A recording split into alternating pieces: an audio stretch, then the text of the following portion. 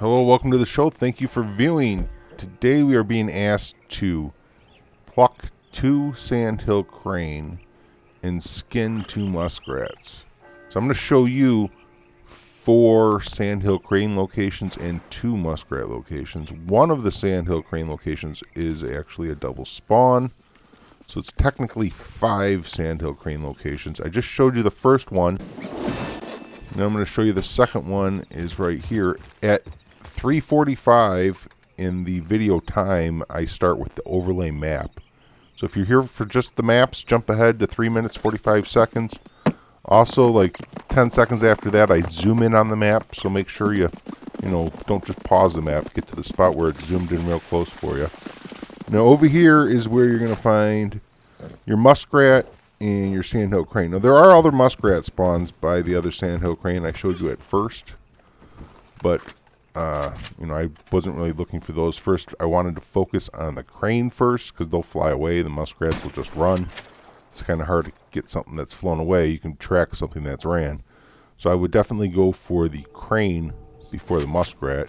And as you can see, I've been targeted for assassination while making this video. Which is just, you know, do I stop making the video?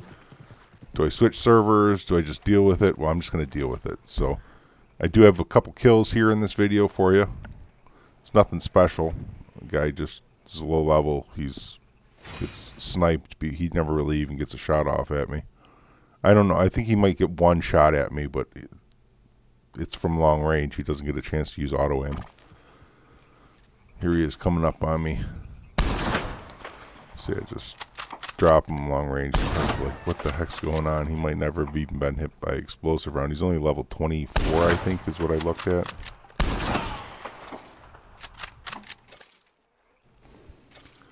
I'm not really in the mood for PvPing right now. I'm trying to make a video for you guys, so excuse me for just sniping him with explosives and not really caring.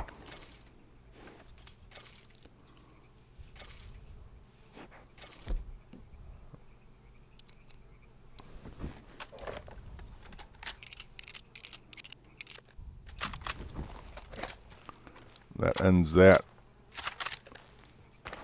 Paid a couple dollars. How much did I get? $9.43. 250 XP. It's not bad for making a video. I should really be thanking this guy. Oh well. So, onto the Sandhill Crane. This is the spot that's actually the double spawn. There can be like six of them out here on this point. At the moment, there's only three. But as you can see, it's not a problem to take them down. Sometimes it can be a little difficult with the gators there to auto-aim on them. So generally you need to let them fly up a little bit so that you can lock onto them without the gator being in your field of view. As you can see, I skinned them up. Got my award done. Now, I already skinned one muskrat. I guess I, uh, I missed pointing that out in the video.